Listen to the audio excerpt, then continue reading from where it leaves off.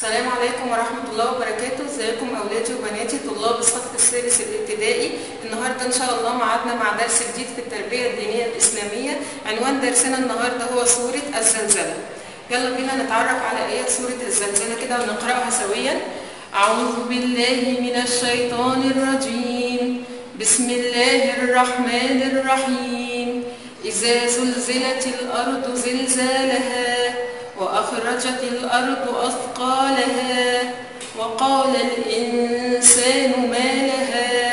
يومئذ تحدث أخبارها بأن ربك أوحى لها.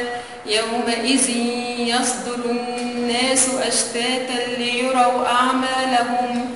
فمن يعمل مثقال ذرة خيرا يره. ومن يعمل مثقال ذرة شرا يره. تعالوا كده يا ولاد معانا نشوفوا الآيات بتاعتنا وتفسيرها. أول آية سورة الزلزلة ربنا سبحانه وتعالى بيكلمنا وبيخبرنا بيقول إيه؟ إذا زلزلت الأرض زلزالها. طيب إحنا عارفين ساعات كده بنسمع بابا أو ماما يقولوا إن في بلد من بلدان العالم حصل فيها زلزال، يعني إيه زلزال ده يا ولاد؟ يعني الأرض بتتحرك تحريك عنيف جدا، طب وبينتج عن الزلزال ده إيه؟ بينتج عنه دمار، إن ممكن البيوت تتهدم وممكن لا قدر الله ممكن ناس تموت، يبقى إذا الزلزال ده شيء إيه؟ شيء صعب بيحدث طبعا إيه في الكرة الأرضية بأمر مين؟ بأمر الله سبحانه وتعالى. طيب المقصود هنا بكلمة زلزلة الأرض، إمتى بقى؟ بيقول لك إن معنى كلمة زلزلة الأرض يعني حركت تحريكا عنيفا متكرر، طب وده هيحدث إمتى؟ هيحدث عند النفخة الأولى.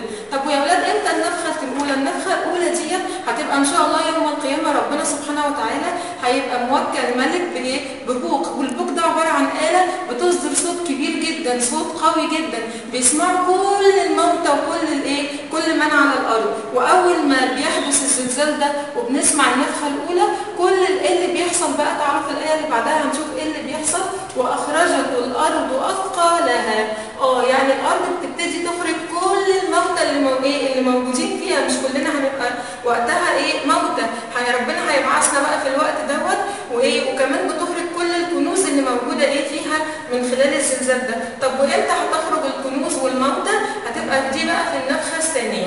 ماشي يبقى إحنا كده عرفنا ان يوم القيامة هيبقى عندنا كام نفخة؟ نفختين. أول نفخة اللي هي إيه؟ لما الأرض بتزلزل يعني بتحرك تحريك عنيف جدا ومتكرر. والنفخة الثانية لما الأرض هتبتدي تخرج إيه؟ موتاها وتخرج الكنوز بتاعها. طيب تعالوا نشوف الآية اللي بعدها. وقتها بقى الإنسان هيتحدث يقول إيه؟ وقال الإنسان ما لها. آه كل الناس طبعا هتخرج من القبور مذعوره خايفة جدا مرعوبه مش عارفة إيه اللي بيحصل. وقال الإنسان ما لها طيب وبعدين؟ يومئذ تحدث أخبارها. آه يعني بعد كده لما يشوف الإنسان اللي بعث من القبر بتاعه ده الحال بتاع الدنيا حوالين منه يعني شايف الناس كلها مذعوره والناس كلها آه بتخرج من قبورها هيفهم بقى إن ده إيه خلاص ده يوم القيامة ويوم الحساب. فالأرض يومئذ وتقول لنا إيه ان ربنا سبحانه وتعالى ده أمر من ربنا. كل اللي بيحدث في الأرض ده أمر من الله سبحانه وتعالى.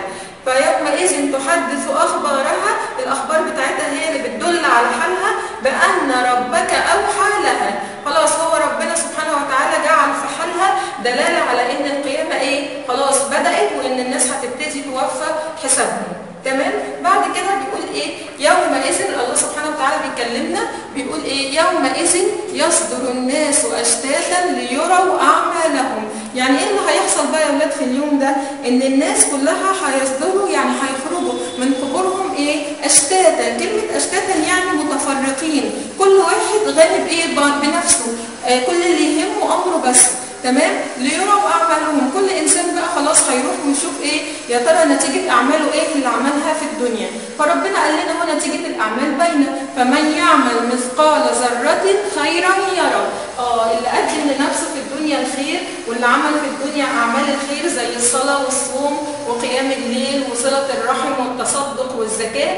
كل حتى لو كان مثقال ذرة كلمة مثقال ذرة يا أولاد يعني وزن أصغر آه هباء. يعني حاجة صغنطوطة جدا حاجة صغيرة جدا. مهما كان عمل الخير مهما كان صغير ربنا سبحانه وتعالى إيه هيسيبك عليه أو هيرزقك ثواب عليه ويدخلك إيه إن شاء الله في الجنة عمل عمل خير. هتلاقي ربنا بامر الله يكثر من حسناتك ويدخلك الجنة. ومن يعمل مثقال ذرة شرا يرى. آه إنما والعياذ بالله بقى الناس اللي عملت شر كانت مثلا والعياذ بالله مثلا بتكذب أو بتسرق أو بتعمل أعمال شر.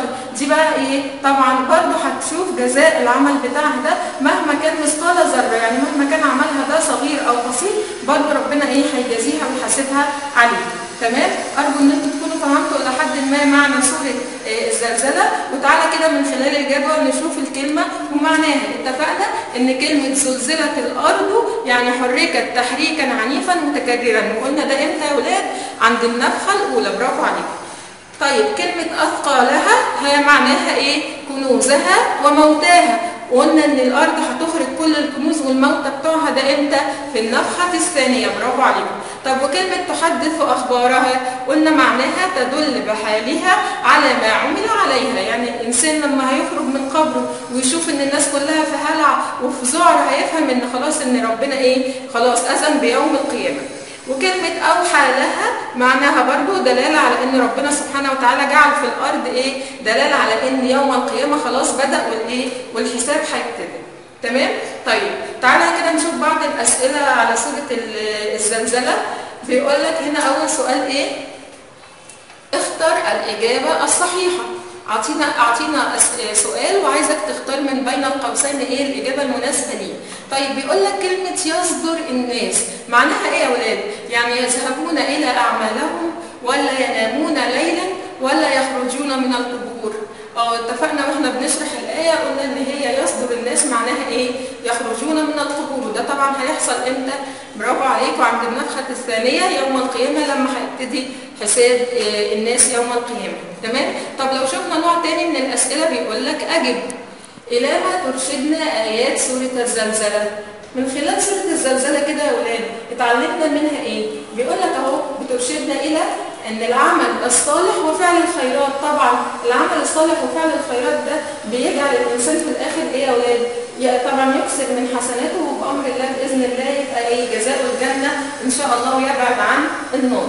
تمام؟ يبقى الآيات بترشدنا إن إحنا دايما نعمل العمل الصالح ونفعل الخيرات حتى إيه؟ حتى ندخل الجنة. طيب بعد كده في نوع تاني من الأسئلة بيقول لك مثلا ضع علامة صح أو خطأ. هديك جملة وأنت تقول لي يا ترى العباره دي صحيحه ولا خاطئه مثلا بيقول لك إيه يشعر المقصر في عمله بالندم يوم القيامة. يعني إيه ميس الجمله دي؟ يعني مثلا لو الإنسان في الدنيا آه بدأ يعمل أعمال شر وأثر في الصلاة بتاعته ما أتمهاش أو مثلا قصر في أداء مثلا الصدقة أو قصر في صلة الرحم.